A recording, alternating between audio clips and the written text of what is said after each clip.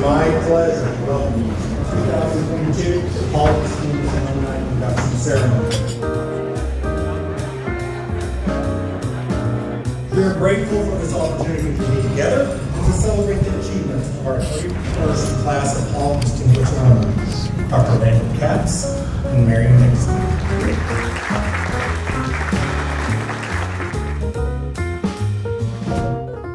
Martin's Alumni Center is a welcome place for all our WKU family. Whether it's a first-time visit from a high school student and their family and considering WKU as their university, or whether it's hosting a wonderful celebration of excellence like today.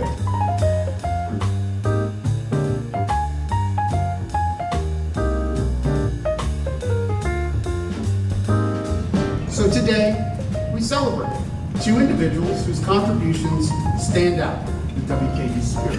Two individuals who climbed to the greatest of heights in their careers.